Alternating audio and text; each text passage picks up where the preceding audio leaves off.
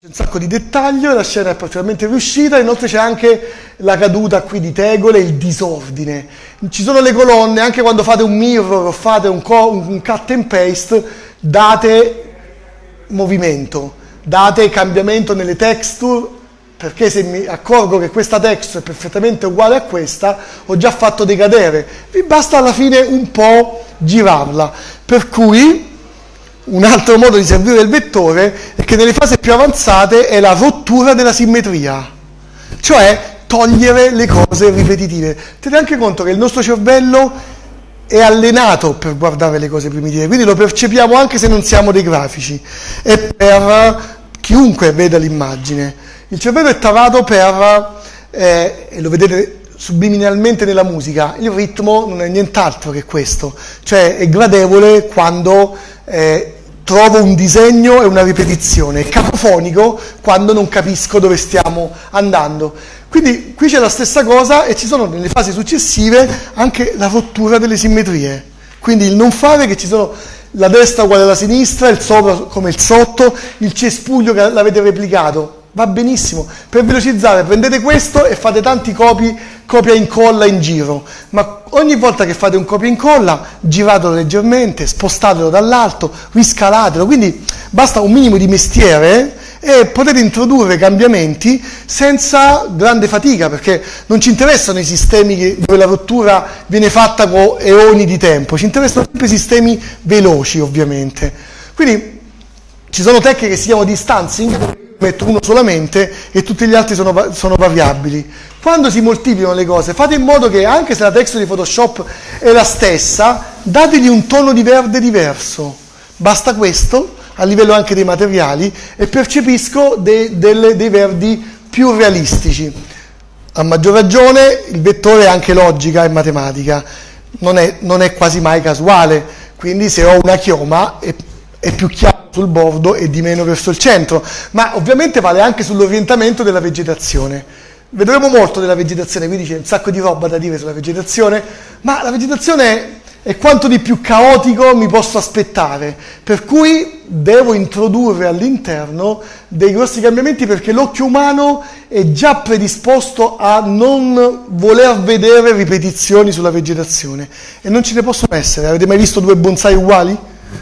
Quindi nulla è più deleterio nella, nella, visualizzazione, ad esempio, di un viale architettonico dove si vedono filari di alberi tutti della stessa altezza, piantati ordinati, eccetera, eccetera. Quindi va benissimo misurare, va benissimo fare una scrivania, imparare sulla disposizione degli oggetti, ma poi disponeteli con il microfono inclinato, gli oggetti, cioè mai cose allineate o parallele, perché la realtà è caotica e dovete imparare a replicarla in questo modo. È caotica anche la ruggine e il disordine, i fori o le sporcature. C'è un vettore sul fatto che qui ce n'è di più e qui via via di meno. E se io vedo che queste, questi buchi sono fuori scala, e sono fuori scala, questo è un errore. Per cui per quanto realismo sono andato a inserire, poi cado su questa roba che o sono scrupolo due o d'altro, ma c'è un errore di scala, la percepite una certa... Che cos'è? Casetta bambola, realistica, sto lontano. C'è nella, in alcune cose sono fatte bene, ma alcune componenti di scala, guardate che bello questo qui del, dei, dei fili elettrici con un solo filo attaccato, insomma il disordine, si percepisce che il modellatore, per quanto avanzato e bravo, ha copiato vari pezzi dissonanti, ma non un unico soggetto. E quindi di mestiere ha messo la ruggine, le cose, eccetera, però non sempre in maniera logica. Quindi va benissimo che certi cardini sono un pochino più scuri rispetto al resto, va molto meno bene questo bianco che sta qui sotto o questo colore chiaro qui e scuro sopra.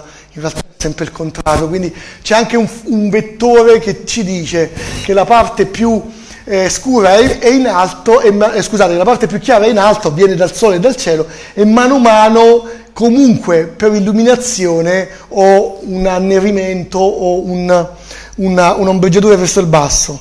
Poi, visto che sto lavorando con dei computer, sapete bene che questi, cioè i computer e i software, ci mettono sempre delle ombre catrammose, cioè delle ombre che coprono eh, eh, eh, che cosa c'è sotto. E invece le ombre lasciano sempre trasparire cosa c'è sotto e quindi siete voi che dovete dargli delle colorazioni sul grigiastro, basato sull'osservazione, non è certo il software che ve lo genera in maniera automatica, che invece tende all'errore.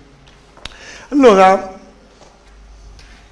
a proposito dei vettori, cosa percepite? Questa volta il, ge- il giallo e l'azzurro sono tra la luce artificiale calda dell'interno con il contrasto della luce esterna. Tra l'altro sono anche complementari, sono tra i i migliori cromatismi percepiti dall'occhio, ce n'è questo con il giallo che trascolora nel celeste.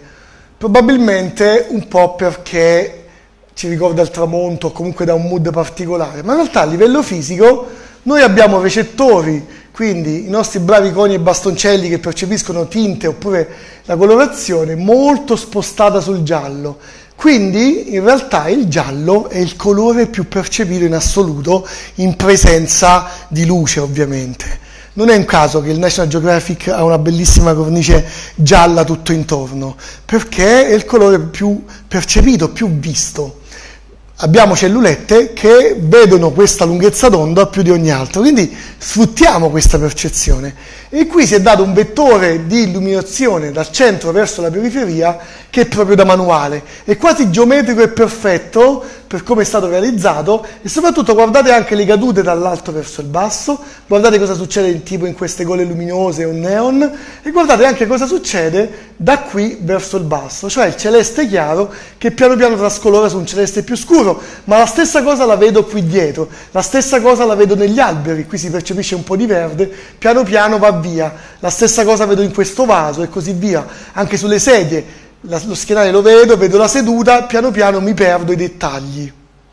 Quindi questi volumi adesso sono percepibili comunque, ma con la presenza del materiale molto meno. Per cui se voi non li studiate e non li rendete fattibili a livello di assenza dei materiali, dopo non sono recuperabili, perché nessun grafico ad occhio umano può separare gli elementi. Quindi è una questione proprio di velocità e di praticità che utilizziamo, utilizziamo pienamente, finché non troviamo un metodo ancora migliore o più veloce, ovviamente. Ok? Poi ogni grafico delle luci ha delle preferenze sul tipo di luci che, che utilizza, ma vi dico che poi in realtà dei 5, 6, 8, 10 tipi di luce, ognuno ha una, massimo due preferenze e con quello fa tutto anche perché è molto più veloce fare tutto con poco che industriarsi con roba che più o meno esce fuori controllo. Quindi un'altra cosa che si impara eh, andando avanti è che il metodo e l'allenamento include che con pochissimi strumenti riuscire a fare tutto, ergo di un software, probabilmente 3D o 2D, bah, un 5-8% è più che sufficiente per fare tutto e anche di più, soprattutto perché c'è un sacco di roba che non vi serve e soprattutto perché di molta roba imparerete a farne me- a meno. Cioè la, impar- la imparate e la portate a un certo livello, poi vi accorgete che un altro strumento la sottende e lo eliminate. Per cui si impara anche a gestire la complessità con veramente pochi, pochissimi strumenti. Vedete che ZBrush ha centinaia di pennelli e poi alla fine ne utilizzate uno o due sempre gli stessi. Anche lì. Quindi di solito se sapete, se sapete il mestiere, la quantità degli strumenti non è così necessaria. Se invece non sapete il mestiere, impazzite con questo cosa fa, il menu è, ah bello questo effetto di partita, ce lo voglio mettere, eh, ma non serve, no ma ce lo voglio mettere. Cioè cambia completamente il paradigma. Per cui non è un word processor un pacchetto 3D, non vi serve menu per menu andare a vedere cosa fanno, dove e quando. Ammesso che qualcosa vi servirà, ve l'andate a cercare dove avete capito il nucleo del 5%. E comunque sia non c'è nessuno che sa e che conosce software di, di questa profondità e soprattutto se lo conosce vuol dire che non produce, perché non avrebbe il tempo per fare le, le due cose. E soprattutto utilizza strumenti che non servono come la profondità di campo o certe robe che può fare in post-produzione. Per cui molta attenzione perché purtroppo dei metodi sono errati e a volte è anche difficile togliere dei vizi, quindi è meglio non prenderli dall'inizio, cioè quando si è preso la, la, cattiva abitudine di mettere i materiali prima delle luci o insieme alle luci è un problema ripartire dal nude look.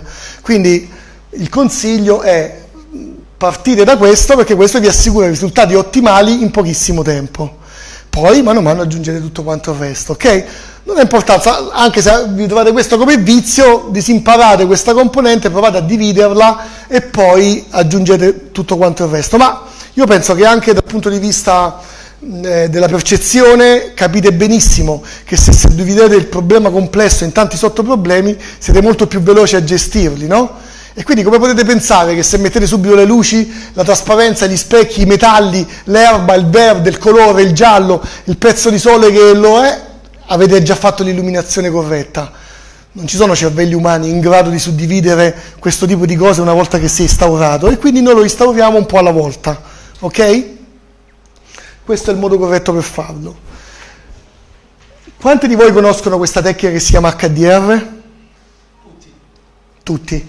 Perfetto, questo è un software che gestisce l'HDR senza che fate l'HDR. Si chiama HDR Shop e si connette con tutti quanti più o meno i software. Scusate, Light Studio, HDR Shop fa un'altra cosa. In realtà queste macchie di luce le inserite voi e in tempo reale vedete sul rendering come appaiono queste macchie. Quindi l'HDR serve per dare molto realismo alla scena, ma la cosa geniale e che viene fatto senza inserire luci all'interno della scena. Quindi la mappa sostituisce tutte, tutti i concetti che con tanta fatica abbiamo detto fino adesso, vengono fatti solamente da una mappa. O la generate in questo modo, oppure la, la si genera partendo da qualunque luogo, ad esempio andando qui fuori, mettendo un cavalletto con una sfera, a meno che non vogliate spendere un po' di soldini per un grandangolare eh, spaventoso, basta fotografare una sfera che riprende perlomeno la metà del vostro ambiente riflesso e questo viene ripreso con solitamente multipli di 8 eh, diciamo, aperture di camera, quindi shutter speed in gergo, no? quindi con l'obiettivo molto chiuso, quasi scuro, nero, poi piano piano fino al bruciato massimo. Queste immagini, solitamente da 8 a 16, ormai le macchinette digitali di ultima generazione ve lo fanno in automatico, con dei softwareini, la posate sul cavalletto e da solo vi fanno questo multiscatto eh, con varie aperture. Si prende questa immagine, si chiama SuperTIFF, è un pacchetto, questo sì, che si chiama HDR Shop, che è anche gratuito, vi assembla un'unica immagine. Sapete che cosa fa in realtà l'HDR tecnicamente? Perché è così potente e realistico l'effetto? Perché questa mappa è così magica? Al di là che è tutta la luce nell'intorno della scena. Perché riproduce perfettamente la luce ambientale? Esattamente. E quindi vuol dire anche in soldoni che io qui dentro al centro, immaginiamo che questa macchia l'ha fatto il sole e immaginiamo che questa macchia l'ha fatto una lampada che ho all'interno o all'esterno. Bene, al di là del colore, la mappa HDR, sapete che valore dà al centro di questo qui, del Sole? Dà un valore di 2 miliardi 870 mila bla bla bla, un numerone che dice è la potenza del Sole. Questo qui, che è una lampada a tungsteno umana, piccolina, dà valore 828. Quindi sono uscito dal range 0,254 dell'RGB, perché il colore c'è all'interno della mappa, ma c'è anche l'intensità. Ora, sapete benissimo che se voi andate in Photoshop, nel software di, di post-produzione video, quando voi lavorate con l'RGB, se mi dimezzate le tinte o l'intensità luminosa, me le dimezzate in, in maniera lineare. In questo caso, se io dimezzo l'intensità luminosa di questa mappa, i 2 miliardi e rotti diventeranno 1 miliardo e rotti ma la luce che era 80 o 100 o 800 diventa 400. Non è un dimezzamento lineare, perché per qua, anche se ho dimezzato la quantità, quella continua a essere una, una sorgente ancora potentissima. Di più, oltre a questa mappa del materiale, la, i vostri, del, della mappa HDRI, il vostro oggetto o modello, diciamo del vetro o del cromo, riflette anche il pezzetto di mappa che c'è intorno. Quindi la mappa HDR dà la luce, ma dà anche i riflessi, lo scenario, senza che voi vi modellate lo scenario. Una regola che è talmente basilare che l'ho data per scontata è che ovviamente tutti questi begli esempi e roba che abbiamo visto, tutti, tutti, tutti, compreso questo, non avvengono mai su un piano nel vuoto dentro un pacchetto 3D. Avvengono sempre dentro un cubo, dentro una sfera. Devo avere un ambiente che mi fa rimbalzare i fotoni e i raggi di luce. Sebbene matematici, sono ottici. Per cui non esiste che aggiungo un piano e ci butto della roba. In tutti i pacchetti 3D i raggi se ne vanno non vedrete mai global illumination comunque non la percepirete totalmente, soprattutto disperderete un sacco di roba.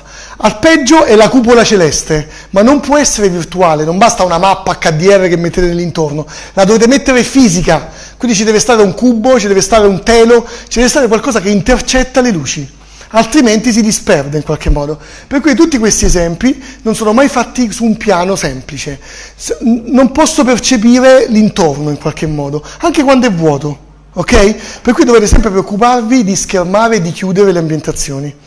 E quando prima vi parlavo dei modelli che più o meno devono essere compliant, cioè funzionali, non parlavo solo del fatto che devono essere ben smuttati o d'altro, ma addirittura che non si compenetrino, soprattutto se c'è delle trasparenze o degli altri oggetti. Non sono geometria buttata là, per cui se avete un vetro che entra in un altro vetro, il motore di calcolo impazzisce nel capire questo raggio luminoso come verrà interpretato. Quindi quando il materiale è piatto, fate come vi pare, ma quando il materiale comincia a diventare cromo, vetro o d'altro, sono materiali superficiali, in alcuni casi anche volumetrici, quindi la sfera è, pie- è, vetro pieno. Se voi la intersecate con altri oggetti possono succedere guai, al peggio in termini di qualità, ma a volte anche di tempo di calcolo. Quindi quell'immagine con un bicchiere con un liquido, se state attenti al liquido a fare in modo che segue il bicchiere, si accosta in maniera infinitesimale ma mai lo compenetra, ci metterà i famigerati 6 secondi. Se voi in alcuni punti lo farete toccare, oltre ad avere degli artefatti, ci metterete 6 notti, se basteranno, 6 giorni continuativi. Quindi a volte i motori di rendering si inchiodano semplicemente perché avete inchiodato la matematica che sta dietro sistemi di equazioni che continuano a dare soluzioni e roba varia, il raggio continua a rimbalzare, il computer non capisce mai quando chiudere il calcolo oppure ne deve fare miliardi prima di capire che deve smettere in qualche modo. Abbiamo dei controlli per impedire che si vada in un loop contemporaneo. Ok.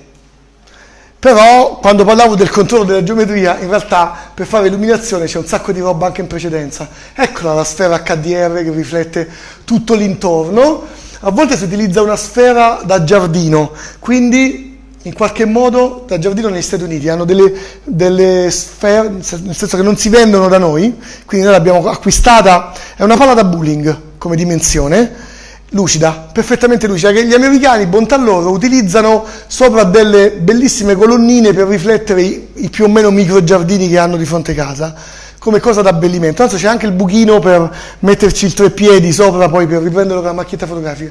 Però non ve lo vendono. Costa una sessantina di dollari. Se avete qualcuno che va negli Stati Uniti, se lo fa, può far spedire anche tramite Amazon per questioni di fragilità, ma non è neanche così fragile perché comunque è dentro delle cose di bolle. Eh, lo potete farvelo acquistare o comunque acquistare e poi spedirvelo, ma loro direttamente non lo spediscono. È la maniera più economica per fare HDR di un luogo reale per dire fare la facciata di questo edificio senza modellare tutto intorno, vuol dire che non potete andare a prendere un HDRI da libreria. Quell'HDRI di libreria è Los Angeles eh, di fine agosto, che ne so, di fronte non so a quale scenario, non è certo quello di qui. Quindi per fare esattamente l'illuminazione di un luogo dovete farvela, dovete avere l'HDR del luogo. La libreria è un mezzo veloce per più o meno eh, eh fare della buona illuminazione, ma non può essere quella effettiva. Questo è come cambia la luce cambiando l'HDR, semplicemente.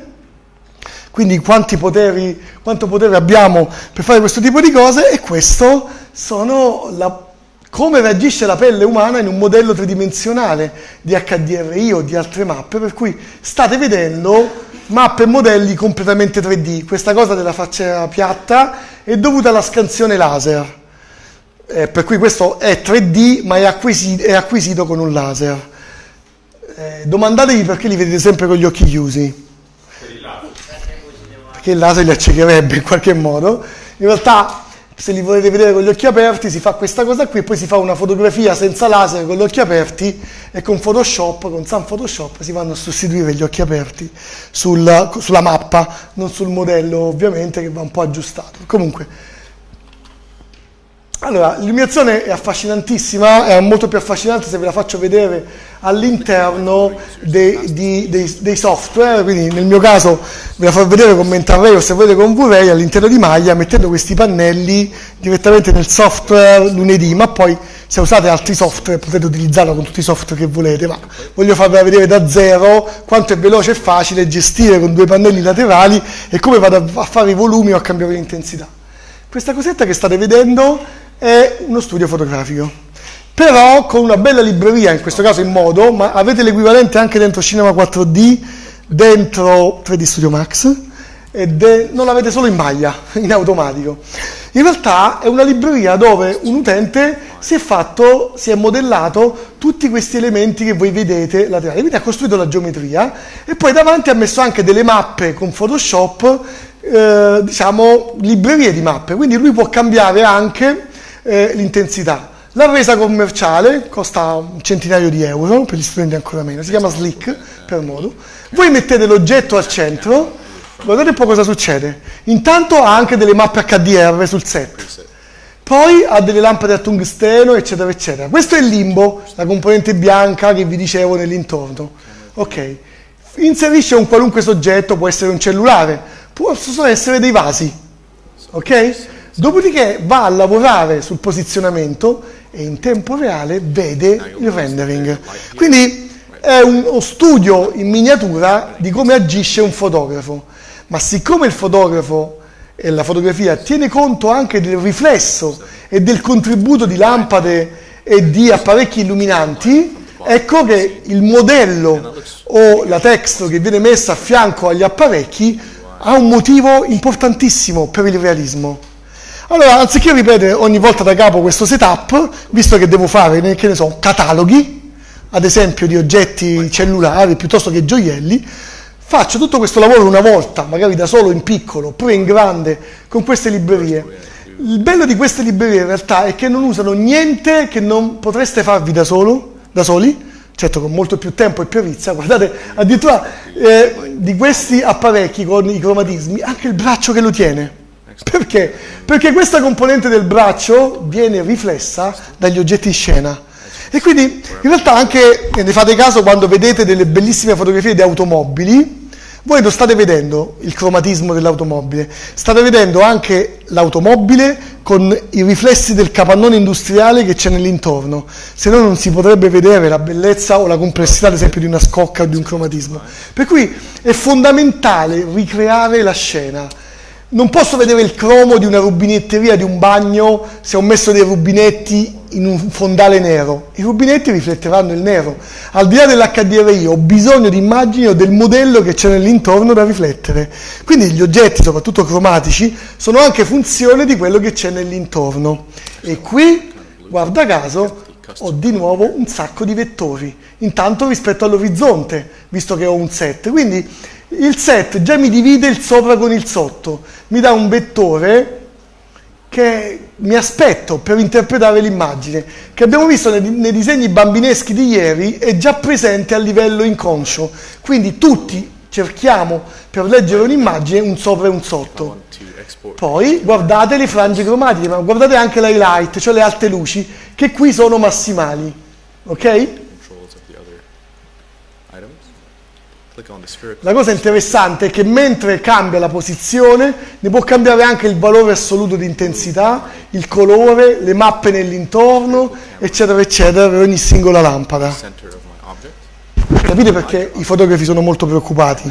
Che quando vedono questo tipo di cose hanno molto paura. In realtà si continua a fare fotografia, per cui basterebbe loro imparare software di questo genere usando le stesse tecniche. Magari si spende anche molto meno, anche di energia elettrica, visto che questi sono fotoni virtuali che eh, costano molto meno dal punto di vista dell'impronta eh, di CO2 ma anche di bolletta rispetto a quelli effettivi. Inoltre il cliente non si sposta, eh, manco il fotografo si sposta, magari lo fa a casa. Probabilmente il fotografo non ha bisogno neanche di grandi studi per fare tutto questo, quindi Scavolini sta utilizzando questo e non solo Scavolini perché può gestire con costi molto più ridotti e con estrema velocità il, il rendering. Ok.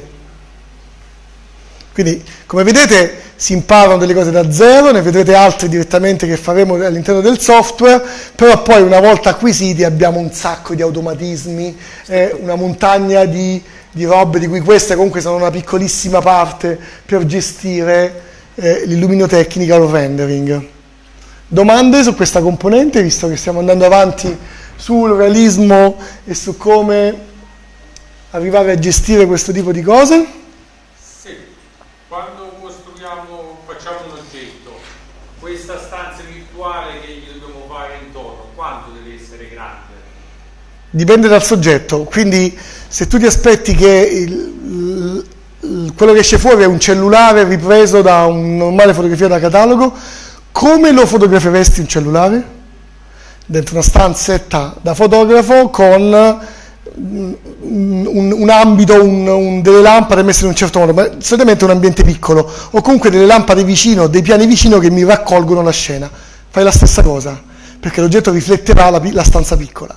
Se ho bisogno di fare un'automobile, eh, beh, la stanzetta piccola non basta più. Io prima vi ho parlato di capannoni industriali, avete bisogno di tralicci, avete bisogno di aggiustamenti e di scale un po' più grandi perché l'automobile riflette una porzione più grande.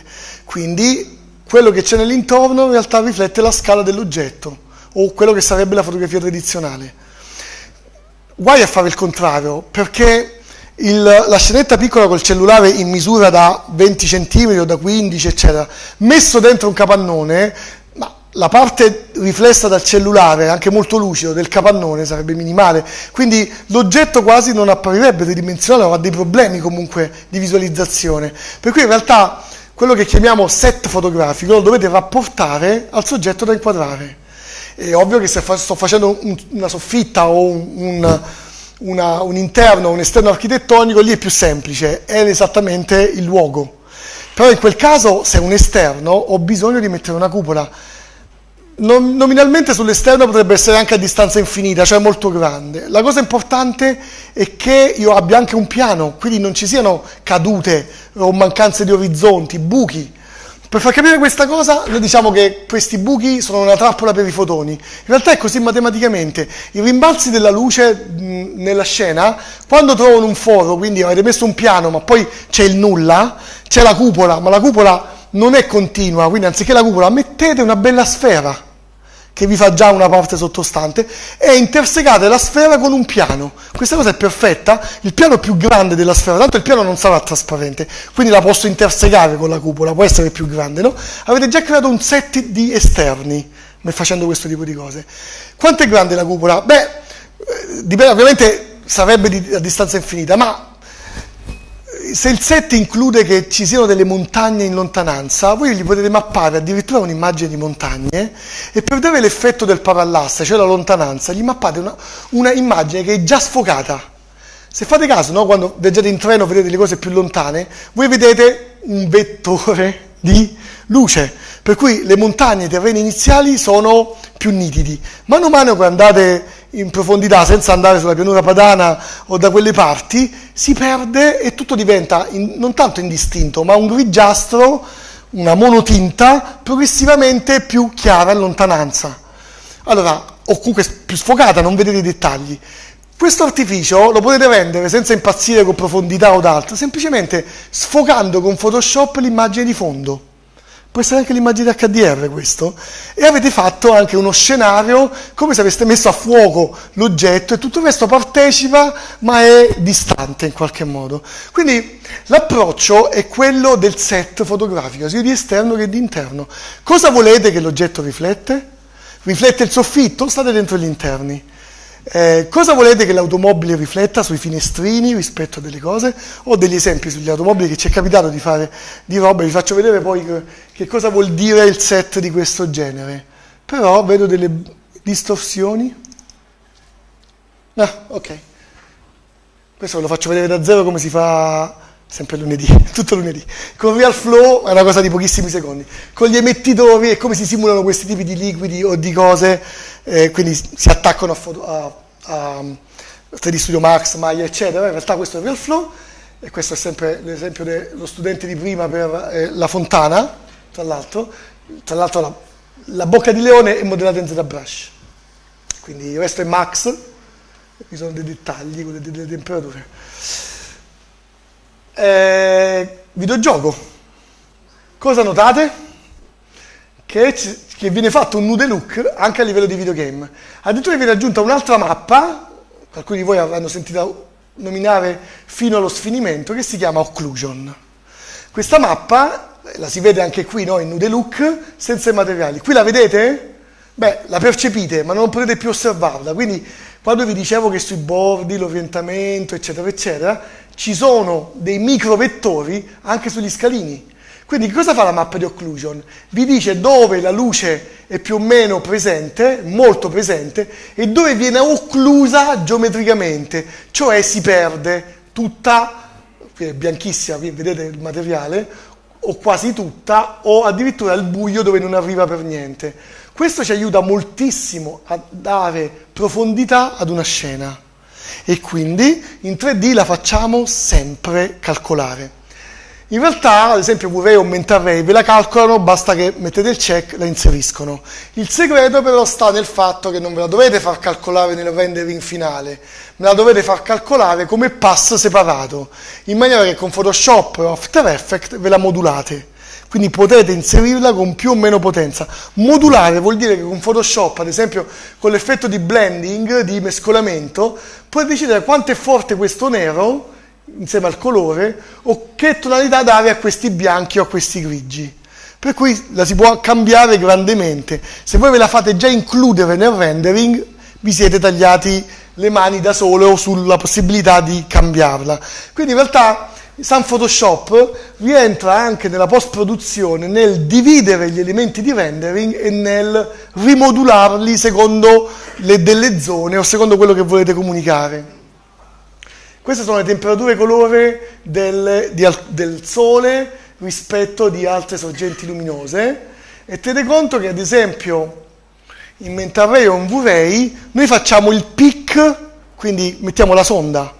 Cioè, come faccio casualmente a capire il sole piuttosto che la lampada a fluorescenza che tipo di tono ha? Non posso andarci per tentativi, è un numero ben preciso, per cui mettete il contagocce, chiamatelo come vi pare, la sonda della selezione del colore, vi importate l'immagine photoshopesca dentro il software 3D, in alcuni software come Maya, se potete mettere due finestre separate, basta che potete accedervi senza che esce dal software e fate il pick del colore, per cui utilizziamo queste cose per andare a eh, piccarle, a sondarle direttamente. Guardate, cioè, se voi non fate studio in nude look, una volta che avete messo il materiale, certo che lo percepite questo nero questo occlusion, ma è percepito insieme al materiale al comportamento del materiale. Quindi non potete vedere se è fatto bene o fatto male, quindi se c'è volume. Per cui, come se non bastasse, c'è un vettore da qui a qui, c'è un vettore da qui a qui e ci sono tanti microvettori anche in questi scalini.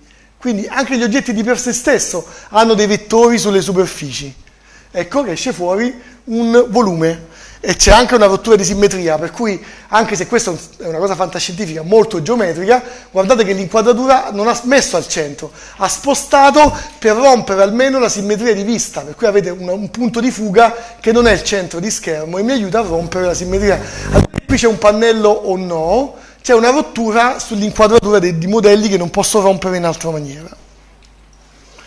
La rottura della simmetria a livello percettivo è fondamentale. Eh, provate a vedere cosa vi succede se vi mettete di fronte a uno specchio e mettete un altro specchio su metà del viso. Guardate un'altra persona, ma non siete voi. O, o a destra o a sinistra non siamo così perfettamente simmetrici. Per cui anche quando, ad esempio in ZBrush, in software 3D, utilizziamo la simmetria il mirror per fare contemporaneamente la parte laterale del viso, poi dopo, nella fase finale, la andiamo a rompere perché non può esistere un viso o un organico, una creatura che ha una parte uguale all'altra. Non disponendo della sfera ehm, da fotografare per realizzare sì. una, mappa, una mappa HDRI, sì. ehm, esiste un modo, diciamo, per, tramite magari software, per uh, simulare, per realizzare una mappa HDRI e se ci può consigliare un sito eh, che contenga delle mappe HDRI eh, una ricca eccetera, eccetera. Allora, ehm, Se non avete una sfera da 30 cm va bene anche una, una palletta di Natale un po' più grande. Quindi in mancanza di, del, della sfera Andrebbe bene anche una palla da bowling eh, eh, cromata con la bomboletta, ma il problema è che è molto pesante, quindi in realtà deve essere più leggera. No, l'alternativa può essere un grandangolare, quindi è costosa certi, per un certo verso, sia un fisheye. Uh, siti, siti ce ne stanno tantissimi, se vi fate una ricerca come Free HDRI ne trovate tantissimi. La cosa importante, alcuni li mettiamo anche noi costantemente su, sul link Facebook, di quelli un po' più diciamo di qualità, e ci sono addirittura alcuni che sono animati, quindi c'è un HDR da mattina a sera, per cui voi potete replicare un'animazione semplicemente animando l'HDR, senza animare la sorgente luminosa del sole, mettendo l'HDR nelle 24 ore. E ci sono alcuni addirittura con risoluzione 50.000, quindi estreme, per cui se non avete almeno 32 o più giga di RAM non sono neanche gestibili. Però c'è di bello che se le scalate hanno un ottimo anti-aliasing. In realtà l'HDR meriterebbe anche, si fa anche con Photoshop, però il, il, la modifica dell'HDR, ad esempio l'eliminazione del fotografo che fotografa se stesso o del treppiedi, la macchina fotografica dentro... Ci sono de, de, dei software come appunto HDR Shop o simili che sono delle sorte di Photoshop avanzati per l'HDR. Peraltro eh, in maniera piuttosto errata, l'HDRI lo si associa al 3D, ma in realtà è una tecnica fotografica, per cui esistono telecamere macchine fotografiche, alcune delle quali molto costose, soprattutto telecamere da 100.000 euro, che fanno riprese in HDR direttamente. Cioè questo discorso che abbiamo detto delle esposizioni multiple lo fanno a livello di acquisizione. Per cui l'HDR, l'HDR è una tecnica che vi consente di andare a casa della fotografia che avete preso e di cambiarvi dei parametri impensabili, a volte anche l'esposizione, cioè senza ripetere la fotografia, quindi molto comodo perché potete modulare senza perdere qualità. Però in realtà il 3D se ne è impossessato, l'ha fatto un matematico che ha preso il corrispettivo per il, Nobel per questa ricerca dell'HDRI, che si chiama Paul Debrek. E c'è un, un sito, è cecoslovacco, poi è scritto proprio Debvec, ma ve lo faccio vedere, c'è un sito istituzionale, perché lui è il matematico che sta al centro di questa cosa. Ha preso anche una medaglia IBM per la ricerca scientifica matematica, perché ha diciamo, inventato questa tecnica. La cosa interessante è che c'è un aneddoto di come è nata questa tecnica, perché eh, si utilizzava già dai tempi degli ultimi film di guerre stellari per riprendere la luce di un set, fate conto nel deserto piuttosto che in altri ambienti, quello di mettere una sfera, di fotografare una sfera nel set, per capire poi sul video e soprattutto sul 3D dove fosse il sole o le sorgenti luminose. Quindi quello che ha fatto Deborah in qualche maniera è utilizzare queste informazioni per capire eh, esattamente dove stanno le sorgenti luminose. Per cui nasce da un artificio cinematografico che si utilizza tuttora e poi è stata estesa, per cui lui matematicamente ha dimostrato come la luce poteva essere esattamente riportata all'interno della scena e anche le componenti dei materiali, per cui l'oro rifletteva esattamente quella componente di ambiente come la realtà eh, lo ha fatto per tutta una serie di materiali. E la prova provata c'è cioè in una ricerca particolare, dovete sapere che tutte queste ricerche scientifiche sulla computer grafica risiedono su dei siti molto particolari e c'è addirittura una pubblicazione, che è quella da cui noi abbiamo preso il nome in italiano, cioè Computer Graphics Technical and Application, che è di una società che si chiama IEE, con 3 di engineering, dove tutti i ricercatori inseriscono queste ricerche. Solamente due o tre anni prima che li vediamo all'interno di software 3D Studio Max, Maya o d'altro. Per cui c'è, anche un deposito di questo tipo di cose. Eh, il sito di Debrek eh, c'ha un sacco di link a bellissime HDR, alcune fatte storicamente da Debrek stesso. Eh, eh, questo non è un aneddoto, ma tra l'altro è verità. Debrek prova questa tecnica a San Pietro. Quindi velocizza come funziona questa tecnica c'è una ricerca, se me lo ricordate poi vi dico anche dove e come reperire il filmato perché è molto Fiat Lux, molto divino. In realtà lui viene a San Pietro e dice che gli serve una settimana o due per fare le riprese di tutto San Pietro, per avere delle tecniche, per avere le mappe di San Pietro e anche la luce. e fa il nome di un cardinale, forse fa anche nome e cognome, in cui il cardinale ha detto tutta una settimana chiusa al pubblico, non esiste, non è mai esistito, eccetera, eccetera. Non so se gli ha dato un giorno, ma mi sembra qualche ora, quindi gli ha ridotto proprio tantissimo la possibilità di studio. Quindi lui si è eh, eh, diciamo, ingegnato per dire come faccio ad acquisire in pochissimo tempo questa complessità e ha messo delle sfere riflettenti lungo il camminamento e le ha fotografate. Dopodiché è tornato a studio, ha sviluppato, ha perfezionato questa tecnica e ha fatto degli enormi... Eh, Sapete che i ricercatori sono intelligentissimi dal punto di vista matematico, ma non sanno utilizzare questi software, quindi non sanno modellare, non sanno fare nulla di questa. Quindi hanno preso dei monoliti di guerre stellari, quindi delle enormi, eh, delle enormi tessere da domino, e le hanno fatte cadere dentro San Pietro con una perfetta riflessione di tutto l'ambiente di San Pietro senza modellare San Pietro, quindi solo con delle sferette eh, HDR che riassumevano struttura e luce. E c'è un filmato bellissimo da questo punto di vista, con una musica veramente da, da, primo giorno della creazione, che sta proprio nel suo sito. E dentro ci sono anche mappe e cose di questo genere, quindi ve lo indico volentieri. Della sorgente prima perché lui continua a fare ricerche e ultimamente sta portando l'HDR, per cui alcune cose che avete visto dell'umano le sta facendo su una sfera di luce intorno a delle riprese di attori reali lo sta facendo, l'ha fatto a livello di ricerca e un sacco di film di supereroi hanno le controfigure 3D fatte in questo modo. Quindi sono eh, eh, praticamente tutta la serie di X-Men, Spider-Man, più, più, che Superman o d'altro del, di ultima generazione, ci sono gli attori scansionati full body dalla testa ai piedi in 3D, compresa i loro texture, quindi la pelle, i difetti, eccetera, e con, e con tecniche HDRI illuminati all'interno dei set. Eh, il non plus ultra di questo lo fa Industrial Light and Magic con Transformers e lo fa con mappe da 8K di HDRI. E quando uscì il primo Transformer era nitidissimo, c'era per la prima volta un'integrazione spaventosa, lo, lo, secondo, lo, sono anche il secondo e il terzo come film, però Industrial Light and Magic è il, il, um, quello che ha portato più avanti questa tecnica e vi, dico, vi, dirò anche che il bellissimo Rango, film 3D che Rai 3 ha trasmesso qualche giorno fa, è uno dei film più belli dal punto di vista tecnico del, del 3D, è ILM, quindi non è Pixar o d'altro, è l'unica cosa che fa ILM che è una, una, casa un po' a parte, un po' come Pixar, diciamo che è la più avanzata nel campo fotorealistico, non cartoon. Bene, Rango ancora non è superato nella perfezione delle texture. Avete visto che è un mondo di polvere tutto sporco, rovinato? Sono tutte texture, è tutto rendering quella roba lì.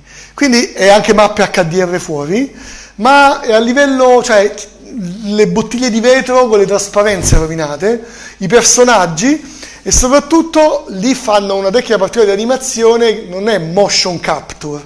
Motion capture metto una tuta a un attore e ne riprendo i movimenti che riporto in 3D.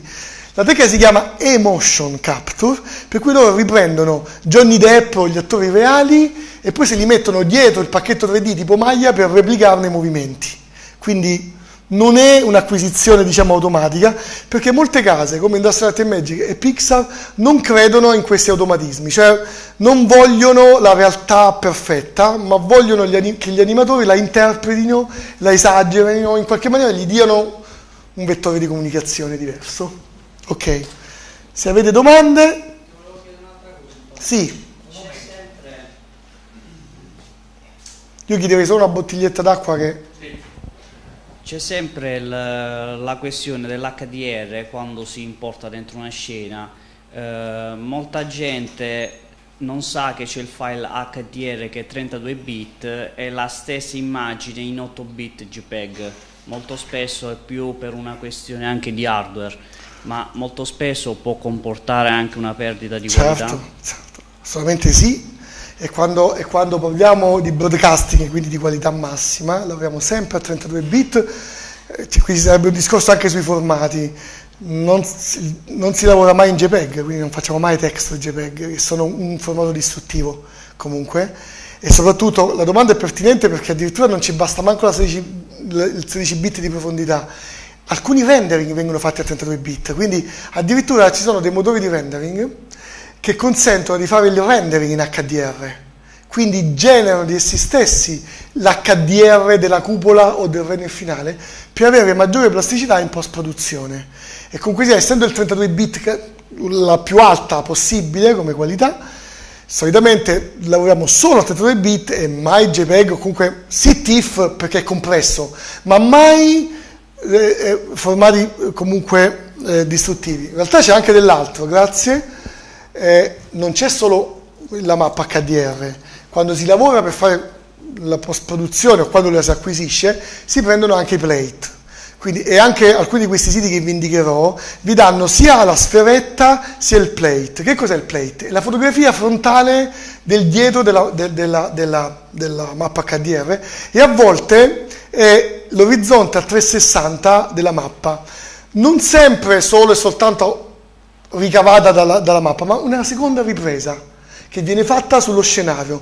Questa cosa si chiama plate e l'oggetto 3D viene messo di fronte a quella fotografia come fondale e, e, e contemporaneamente usata la mappa HDRI per ricostruire il materiale. Quindi, esatto, è duplice la cosa. Quindi è, è una tecnica comunque sia a sé stante che ci leva un sacco di grattacapi che però ne aggiunge degli altri non, non, sono proprio una, un amante di questa cosa perché è il famoso bottoncino magico, Va, cioè, fa sempre dei bei risultati, perlomeno accettabili, ma se non è gestito bene fa anche un sacco di danni e per certi versi può essere anche più lungo a calcolarla. Preferisco l'approccio tradizionale e poi magari eventualmente integrarla. Quindi, ad esempio, un'altra cosa che facciamo, sembra una bestemmia produttiva, è che parto dall'illuminazione canonica con gli spot, eccetera, la risolvo, vedo la luce nude look, vado a vedere l'HDR, tolgo la, la luce base e poi la vado a mischiare. Cioè, in alcuni casi eh, diminuisco l'intensità globale delle luci che ci sono all'interno e comunque la inserisco fatta di mestiere, non ovviamente in contrasto con l'HDRI, però l'HDR servirebbe a non mettere sorgenti luminose. In alcuni casi è necessario rinforzarla o dargli delle direzioni. L'altro problema dell'HDRI, enorme, ancora abbastanza irrisolto, è che non produce praticamente mai eh, ombre eh, nette o comunque nitide e quindi dobbiamo rinforzarle con delle luci spot o comunque di altro genere. Il sole, quindi puoi portare il sole dalla stessa posizione della Esattamente. Dell'HDR, quindi e poi ci sono anche altre cose, per cui ad esempio V-Ray è estremamente lento in HDRI, quindi eh, mentre dei software ambiased come Avion, FireRender eccetera sono estremamente efficienti. Ci sono anche dei trucchi, per cui ad esempio si prende la mappa e la, eh, la si porta dentro Photoshop o HDR Shop e si toglie tutto intorno, meno che le sorgenti principali di luce, per velocizzare i tempi di calcolo. Oppure un'altra tecnica che vedo fare per velocizzare i tempi di calcolo è sfocarla perché sua, il fatto che ogni punto e pixel ha questa profondità con questi numeri enormi fa sì che aumenti i tempi di calcolo. Allora, il passaggio di qualità è subliminale, per cui se la sfogo, riduco la, il dettaglio e la quantità di, di, di, di, profondità e velocizzo senza praticamente cambiare la qualità. Nel caso, in caso io mi trovo in un interno, nel caso sì. mi trovo in un esterno, per un giardino lì già cambia. Cambia molto, ma io eh, non utilizzerei mai e poi mai per gli interni le mappe HDR, quindi parliamo di un discorso per esterni, prettamente per esterni e lì andrebbe utilizzata. Per interni diventa già molto complicato e soprattutto molto lungo per via dei rimbalzi, insomma, lo si fa, ma di mestiere, se ho bisogno di riflessi di un certo tipo, faccio prima studiare il sole che viene fuori o d'altro, per gli, per gli esterni è il suo, per gli interni, insomma, sarei, sarei molto cauto.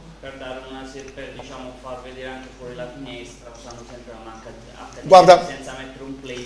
Per gli interni si utilizza se non ti vuoi modellare tutto l'intorno, o, o, parzialmente modellare, però è un po' tirato per i capelli. Comunque, diciamo che eh, gli illuminatori si dividono in due gruppi, quelli che amano alla follia l'HDRI, a me piace molto perché è un automatismo, e quelli che eh, la odiano perché ci arrivano senza capire quello che ho detto prima. Quindi sì, se hai capito anche e se utilizzi anche la tecnica canonica, no se la vedo come panacea che mi risolve tutto e così posso ignorare il resto, perché in alcuni casi aumenta i tempi di calcolo di fattori 20, 100, eccetera, per cui non ha senso. Per cui Ni, bisogna vedere quando e come, insomma, per integrare, fare un tipo di discorso sì, ma insomma, dal punto di vista degli interni, dell'illuminotecnica, l'architetto vuole vedere giorni, notte, vuole vedere roba misurabile, la, con l'HDRI ho grossi problemi di misurazione in tutti i sensi, per cui eh, replica o quant'altro. Poi con l'utilizzo di software di questo genere, questo già un po' di più perché mentre cambiate la mappa vedete in tempo reale come cambia il rendering, però è, è uno dei tanti modi di illuminare, non può essere il solo, ecco, mettiamola così. Infatti un 4 anni fa, 5 anni fa mi trovai a renderizzare una maniglia Ah. milanese. Eh, per non uscire pazzo con le HDR ho dovuto inserire tante V-Ray plane, sistemarle, spostarle, inclinarle per darle il giusto effetto come questo. Certo. Ancora questi non c'erano. Comunque ancora adesso con V-Ray, con, con, con i pannelli V-Ray sei molto più veloce ed Sì, efficiente. anche perché si possono bilanciare diversamente, molto velocemente. E lì la mappa, tenete conto che la mappa HDR viene mappata su una sfera o su una semisfera. Il massimo che potete fare è girarla, Sì. quindi cambiarne l'orientamento o fare di questo genere. E poi è anche vero che ci sono comunque vari tipi, quindi bisogna anche distinguere con quelli a croce, landscape, aperte, cioè quando si utilizzano i motori di, di- di calcolo bisogna anche andare a vedere che non ci siano distorsioni, perché se si sbaglia il tipo di mappa sulla proiezione HDRI esce fuori una roba sì, una robaccia, poi che sia più o meno sempre gradevole, ok, però in realtà se lo guardate con gli occhi del vettore, anche qua l'HDR vi riesce perché guardate quante variazioni vi dà su un cerchio, su una portiera, dall'alto al basso, cioè enorme, cioè, la moltiplicazione dei vettori. Il problema è che ne ho anche uno scarso controllo, quindi a meno che non ve lo facciate da soli, e anche lì quando la fate? Alle 9 di mattina? Alle 4 di pomeriggio? Sono due HDR diverse tra l'altro. Quindi comunque va, va saputa fare e va fatta secondo quello che vi occorre. Anche perché tutto questo era prima che pure introdusse il softbox. Esattamente, ad esempio. Sì, cambia enormemente. Sì, ma con è ancora diverso, con eh, Arnold è ancora diverso, con gli gli Ambiased, Maxwell e Arnold è ancora diverso. Paradossalmente gli Ambiased sono molto più efficienti, quindi eh, mo- motori di calcolo come Arnold o Maxwell, eh, come mm, Arion, Fairrender e Maxwell, sono molto più veloci a calcolare l'HDRI di V-Ray, che è veloce in tutto, ma sull'HDRI si abbiocca particolarmente eh, in, tutti, in tutti i pacchetti, per cui anche lì cioè, non puoi difendere V-Ray contro tutti, perché ci sono degli aspetti che sinceramente eh, non sono ottimali, come tutti i software, bilanci rispetto a quello che ti chiedono, rispetto a quello che vuoi ottenere. Esattamente. A volte anche per quanto è il budget, per cui la- non è detto che ti viene richiesta o pagato la qualità massima perché devi darlo, non- semplicemente non lo, non lo applichi. Vuoi trattare l'argomento, lo faccio almeno quando ne parli. Ti volevo fare una domanda sui rendering in real time, però dimmi tu se, se la... Sì, in realtà Eh, volevo una tua opinione riguardo questa cosa. Siccome poi hanno introdotto i render pass, no? Per vedere comunque, tra virgolette, subito, eh, diciamo, l'immagine, senza aspettare il bug che la completino tutto. Ehm, Per quanto riguarda il rendering, tu ritieni che si arriverà un giorno al rendering in real time e basta e scomparirà praticamente il rendering come lo conosciamo ora? Anche se il render pass comunque eh, un po' aiuta a, a livello di tempo diciamo, a rendersi conto di come sarà l'immagine finale. Ma, mm, eh, forse non si può dire ancora se scomparirà completamente, non è che scompariranno le competenze, quindi comunque anche sullo real time dovremmo illuminare in questo modo o calibrare o partire dal nude look. Già adesso e anche all'interno di Maya o di altri software, Max compreso, quando si utilizzano dei motori, eh, se si utilizza la GPU abbiamo un pannellino che in real time ci fanno vedere subito il risultato. Eh, quello che succederà dipenderà dal, dal come cresceranno loro in potenza di calcolo. Quindi la risposta è sì, anche se non so quando, perché dipende quanto velocemente questa potenza di calcolo sarà disponibile per tutti. Se già adesso, e ve lo farò vedere da browser, potete renderizzare cose molto complesse in real time, in real time veramente intendo mezzo nanosecondo, una cosa istantanea, dipende dalla velocità di banda, non dalla potenza della macchina. Quindi va bene per un portatile lentissimo, così come una macchina non dipende dalla velocità del processore, dipende da quanto velocemente si trasferisce la banda. Eh, beh, certo, diciamo che cambieranno un po' di cosucce. C'è sempre bisogno di chi decide se è fatto bene o no, se, che sappia in qualche maniera illuminare. Sono strumenti, aumenteranno la nostra efficienza, ma come sta succedendo e succede continuamente, aumenta la complessità del rappresentato. Quindi i modelli diventano sempre più dettagliati, ci stiamo approssimando sempre più a cose totalmente indistinguibili dalla realtà, per cui toccherà vedere come costruttori di mondo che cos'altro inventeranno per magari anziché fare solamente una stanza facciamo un intero paese, poi faremo un'intera città contemporaneamente, ma magari semplicemente sarà che tutti quanti potremo esplorare qualunque angolo del mondo in tempo reale senza rendering, semplicemente proiettato. Quindi, perché va a vedere? sono frontiere in qualche modo il, non cambia dal punto di vista delle nozioni e di come il tutto si fa e infatti quello che stiamo utilizzando è quello che un fotografo sa benissimo che fa benissimo, no? suddivide in qualche modo. Secondo me cambierà l'efficienza, quindi si produrrà molto più roba molto, a costo molto più basso, molto più velocemente, per cui magari lo vedremo in, in molti posti più di quanto si faccia ora.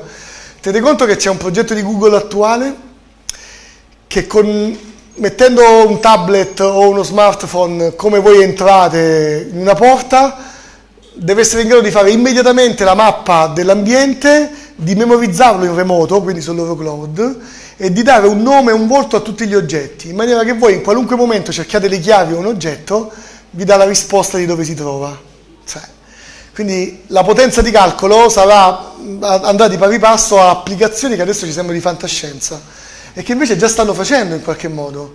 L'altra cosa in cui sono molto molto avanti eh, è quella della micromedicina, per cui sarà possibile mandare, fare Asimov, il sottomarino in miniatura che va giù a esplorarci gli organi e soprattutto non, so, non, tanto a fare delle riprese, a intervenire proprio sul DNA dentro le, le singole cellule o reazioni per sistemare delle cosucce e quello di cui ci hanno paura al momento è la perdita del controllo di queste cose, perché in realtà lo stanno già facendo, quindi già esistono delle micromacchine che vengono iniettate con una siringa in quantità di parecchi milioni nel corpo e vanno a colpire dei bersagli. Questo è il futuro, se contemporaneamente potrò mandare anche delle microcamere per vedere, per direzionare, potrà andare a incidere sulla singola cellula tumorale, a cambiare eh, malattie che adesso sono incurabili o fare delle cose terribili. Cioè immaginate che macchine che vanno lì, fanno una biopsia prendendo un pezzettino di fegato, lo portano fuori, lo mettono in, cultu- in, in, in cultura, quindi lo moltiplicano, adesso già lo fanno con la pelle lo fanno con alcuni tessuti, non con tutti, eh, dopodiché accelerano con dei fattori particolari di crescita, di cui tra l'altro la nostra grandissima Montalcini ha, ha contribuito a scoprirlo, quindi dei fattori che aggiunti eh, maturano un organo in pochi giorni anziché in anni. E poi togliendo l'organo malato, pensate a delle metastasi cancerose che hanno invaso un organo, quindi non possiamo fare più niente, si, si, toglie totalmente tutto e si rimpianta un organo che è fatto con le nostre stesse cellule, quindi senza rigetto. Cioè, vivremo fino a un, un par di milioni di anni. No, forse troppi, ma for, qualcuno dice anche che in questo modo 1000 o 2000 non sono così tanto fuori dalla portata. Cioè se continuo a riparare continuamente le cellule, non posso arrivare all'immortalità assoluta, ma mi posso approssimare con notevole perché noi abbiamo delle bombe a orologeria all'interno, per cui il nostro DNA si replica e dopo n volte purtroppo perde progressivamente lo stampo. Se impariamo a fare in modo che questo non avvenga o a rallentare questo, possiamo allungare la vita in maniera molto, eh, in maniera molto mh, significativa però più che allungarla interessa adesso aumentarne la qualità. Quindi magari è, è, è meglio che tutta l'umanità arrivi intorno agli 80-100 anni, che sono una piccola parte arrivi a 2000 o a 5000 ovviamente. Però su questo avrà un grande ruolo, guardate, ci sono scenari apocalittici anche sulla stampa 3D, perché mh, il 3D c'entra, perché questa roba qui e anche la stampa la facciamo solo con questi software Se voi pensate che già allo stato attuale esistono delle macchine, delle stampanti 3D che replicano loro stesse, quindi ah, si autoreplicano senza controllo, se gli date, ok. Poi pensate anche in un attimo che internet è esattamente la struttura di neuroni umana portata fuori. Quindi noi nel network non abbiamo fatto nient'altro che prendere i nostri neuroni e portarli fuori, fare delle connessioni. Ci sono, non so, chiamate la coscienza? Ci sono delle, delle teorie eh, anche abbastanza accreditate che dicono che la nascita della coscienza all'interno degli esseri umani sia una, una, una cosa dovuta alla quantità, non alla qualità. Per cui noi possiamo avere degli scenari possibili e probabili in cui la quantità di conoscenza e di interconnessione possa fare assumere coscienza a questo network. E questo è veramente apocalittico, in qualche modo. Voi sapete che c'è un, bio, un, un biologo che ha, tra l'altro ha fatto un bellissimo libro che si chiama L'orologiaio cieco, che ha dimostrato che dalla, dagli oggetti inanimati possa arrivare alla vita. Ha semplicemente messo le molecole di quello che si pensava fosse la vita qualche milione di anni fa e le ha fatte stare in ampolla dandoci, dando molta elettricità, cioè energia, lo scenario dei fulmini di un po' di tempo addietro. Bene, dopo un po' di reiterazione, insomma, tutti i chimici e i biologi conoscono questo esperimento, sono comparse in maniera spontanea delle molecole organiche.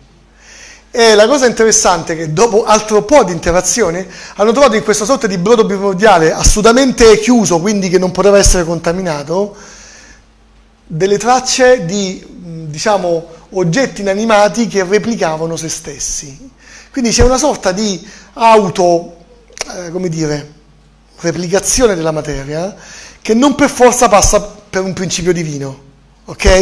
I credenti pensano questo, la scienza non può partire da questo tipo di cose e si prova a dimostrare che è possibile farlo. Eh, questa cosa è preoccupante perché è possibile quindi dall'inanimato arrivare a delle protocellule o addirittura ancora prima delle cellule batteri o quasi virus in qualche modo, gli stessi virus non sono roba vivente, non sappiamo neanche esattamente come, come, nascono, ma comunque il virus di per sé stesso non è una cosa vivente in qualche modo, eppure fa danni e si autoriproduce. Per cui ci sono scenari in cui si ha enorme paura che la conoscenza della rete e l'estensione della rete con la replicazione di questi mate- ma- ma- macchinari sfugga al controllo, semplicemente. Per cui la paura attuale è più fare invenzione e controllo dell'invenzione che il resto. Eh, la grafica, la potenza di calcolo, eccetera, eccetera, c'entra moltissimo con questi scenari, perché cioè, i nostri padri e i nostri nonni pensavano, cioè, stiamo vedendo una realtà che ci metteva millenni, poi secoli per cambiare, adesso sta avvenendo cambiamenti annuali, mensili, cioè una vertigine mostruosa di cose, per cui non lo so quello che succederà, gli scenari sono eh, spaventosi, però insomma, potrei parafrasare insomma, Einstein no? quando diceva non so come si combatterà la terza guerra mondiale, però sono, sono sicuro di come si combatterà la quarta, cioè con le clave, perché la terza quasi sicuramente pensava che fosse nucleare. Io non so come sarà il futuro, che macchinario o d'altro, ma sono sicurissimo che passerà per queste cose. Perché questi modelli 3D, questi programmi 3D sono il controllo della realtà. Quando noi facciamo simulazioni, liquidi, cose ancora più avanzate e replichiamo la realtà, in qualche maniera vuol dire che la sappiamo anche controllare. E quindi si aprono scenari, eh, cioè, estesi. Come ci siamo arrivati? ci, siamo, ci siamo arrivati sul fatto che la stampa 3D e questi tipi di scenario di calcolo non possiamo capire che cosa porteranno negli anni. Potranno velocizzare, potremo usare schede grafiche, ma di sicuro utilizzeremo questi pacchetti. Stamperemo cibi, ma useremo 3D Studio Max, mettiamola così, o pacchetto equivalente in qualche modo. Quindi la conoscenza, adesso al via dei cibi, anche di oggetti inanimati ovviamente, quindi Conoscere questi software vi dà un sacco di porte, già ne stiamo aprendo tantissime, ad esempio l'architettura no, con l'illuminazione, ma adesso c'è molto altro, ad esempio in medicina rispetto che ad altri campi. Allora perché andrebbe perseguita questa cosa della passione o della volontà di fare grafica 3D? Perché lo capite da solo che scenari apre, ma vi posso assicurare che la richiesta di persone che stanno dentro a questo tipo di grafica non consente la disoccupazione, non è una parola che esiste in questo mondo esiste la sottoccupazione o la male occupazione, cioè l'occupazione pagata male, però sono talmente poche le persone che se ne occupano che comunque la collocazione è possibile trovarla in tempi ragionevoli, a volte anche migrando, eh? ci sono una serie di discorsi e di cose da fare ovviamente, però si trovano anche un sacco di opportunità. Ad esempio lavorando per architetti o studi medio, grandi o grandissimi di architettura. Io ho studenti che hanno iniziato qualche anno addietro, di cui posso fare nome e cognome e anche curricula, che sono stati studenti normali di 3D e di architettura, che sono finiti nello studio di Zadid, che è uno dei massimi architetti eh, iracheni, non so se conoscete almeno di nome, che fa architettura organica, e usava Lightwave dell'epoca per fare la replica di tensostrutture Ora lo studente è un costruttore a Londra, non si occupa più di replica 3D, non so neanche io come ci siamo arrivati dal discorso ad altro, però il 3D gli ha dato questo tipo di opportunità. Quindi quando dico avete il dubbio, cioè sentite qualcosa che vi piace farlo, trovate solamente se vi piace di più sull'architettura, sul videogame o altri campi che stiamo vedendo. Ce ne sarà pure uno o più che vi interessano dal punto di vista conoscitivo. E se dovete scegliere fra due porte dove la disoccupazione, una sicuramente c'è uno che vi dà una randellata dietro la porta e un'altra dove forse c'è uno che vi dà una randellata, forse è meglio andare in quella dove forse. E poi un sacco di, di, di, di, di professioni stanno cambiando. Difficile, l'architetto al momento non può più presentare concorsi senza rendering. Ci sono comuni da noi, ma vedo che stanno arrivando anche da voi, e parlo di Fiumicino, che quando voi gli proponete una variante esterna, quindi non sto parlando di un comune che deve fare delle, delle verifiche storiche, no? mi devi fare una facciata ma non deve contrastare il Colosseo, sto parlando di un comune che comunque sia è dell'Interland, che non ha tutti questi beni, eppure vogliono il rendering il catasto vi chiede, o l'ufficio preposto all'accettazione, vi chiede il rendering della facciata che deve essere modificata o della ristrutturazione. Quindi sta diventando legge la produzione di questi elaborati. Eh, l'architetto vi dà indicazioni, ma quasi mai l'architetto si mette lì e fa i rendering, non è il suo mestiere, ha bisogno di visualizzatori, comunque sia, o comunque lo sa gestire, deve mettere delle persone, ok? Questo per dire una realtà locale. Ma le sigle televisive, uh, gioielli, ci sono campi, adesso la medicina che vi farò vedere, non è che ci sono campi, ci sono autostrade, ci sono cose, ci sono anche robe, visto che c'entra anche col seminario, in cui potete diventare imprenditori di voi stessi, dove inventatevi delle cose. Se siete bravi in 3D e potete fare delle miniature, allora potete fare uno più uno. Un imprenditore, tra l'altro del nord Italia, Torino mi sembra, si è inventato il regalo da 100 euro dove gli, gli, gli comunicate la fotografia, il viso frontale dell'amico a cui volete fare il regalo e vi dà la miniatura col viso dell'amico e gli dite sì ma il mio amico è un esperto pescatore. Bene con ZBrush fanno una caricatura di un pescatore in miniatura e mettono il viso del vostro amico e questo non sta presso alle richieste. È una cosa terra terra comunque un, un'idea eh, eh, minima però non c'era nessuno che, lo, che in precedenza lo proponeva. Fa un sito non c'ha manco un laboratorio un luogo quindi somma fa uno più uno e si inventa un prodotto che precedentemente non ne avevamo bisogno, manco sapevamo che esistesse. Quindi ci sono un sacco di modi per fare, eh, per fare industria e dovete in qualche maniera conoscerla. Non è un caso che un genio come Steve Jobs fonda Pixar. Cioè, ma che c'entra Apple col 3D? Niente praticamente. Eppure lui è un cofondatore perché capisce, mentre fa computer, tenete conto che lo cacciano pure Jobs fonda un impero che ancora non ha, non sappiamo neanche quanto sarà grande, quindi non so come sarà il futuro, ma probabilmente avrà il marchio di Google o di Apple o di Samsung, questi qui insomma, o di Microsoft. Però lui capisce che, ok, il 3D non lo gestisce, non gli serve, fa computer, ma fa Pixar, la prima società che farà un film totalmente in 3D. Cioè vede da visionario che tipo di sviluppo questo tipo di cose eh, eh, eh, avrà. Ed è un visionario spaventoso, per cui avete all'interno di Apple un'anima legata al 3D e questi che fanno? Un design pulitissimo, fanno prototipi, tutte le società, da scavolini ai design di cellulari hanno bisogno di modellatori e di gente che fanno prototipi in 3D. Per cui ci sono un sacco di industrie che vi richiedono come ricerca e sviluppo, cioè di laboratori che producono robe che noi manco sappiamo, scarpe, cristalli, su pellettili, però di sicuro hanno bisogno di qualcuno che fa rendering, che prova le cose prima di realizzarle e dopo che le avete realizzate ha bisogno anche della stampa. Cioè, non so se intravedete, non pensate solo all'effetto o al film, quello è una cosa già la cuspide della piramide, la, la cima, ma in realtà sotto è enorme il tipo di cose che, che si possono fare si possono rappresentare in 3D facciate, ma le posso mettere in un'app e mentre mi ritrovo di fronte alla chiesa mi ci muovo oppure vedo com'era in età romana. Anziché vedere solamente gli studi sotto, visto qui la necropoli, immaginate un, un 3D che viene calcolato in tempo reale sopra la necropoli e voi vedete sul telefonino com'era 1000, 2000, 5000, 50.000 anni fa.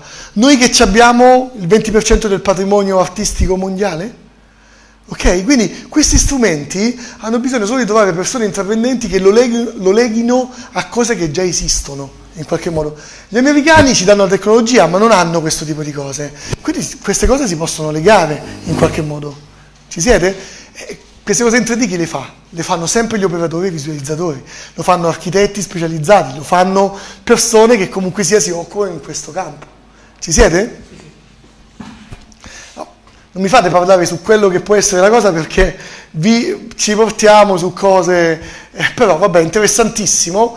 Il rendering e i volumi, guardate un po' quanto sono gradevoli anche sui cartoon, sugli umani e sul realismo, ma anche quando li vedete all'interno di film. Percepite i vettori, come dicono gli studenti? Guardate un po' l'occlusion che c'è qui dietro, sotto il nero.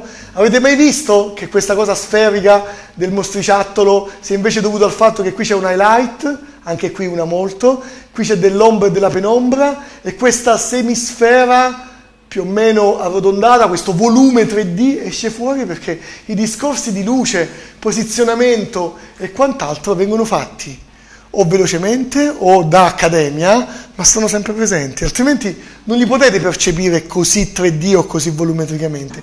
Tanto vengono anche fatti rispetto a un punto di vista, non è che sono a sé stanti, bisogna sempre prendere in considerazione da quale punto inquadro, quindi dove sulla telecamera su, o sulla fotocamera virtuale c'è tantissimo perché poi è da lì che passano i raggi luminosi ovviamente e su quella direzione mettere tutto quanto il resto. Guardate il 3D di questo elemento Intanto guardate anche il disordine, questo è piegato in questo senso, questo nell'altro. Questo testo è consumata e divertitevi a guardare i vettori sparsi, addirittura il fuoricampo che c'è qui, il fuori, il, la sfogatura di fondo, quindi sono dei, dei, vettori anche sulla messa a fuoco, no? il soggetto messo a fuoco, fuori fuoco il dietro, ma notate che c'è un fuorifuoco anche sul davanti.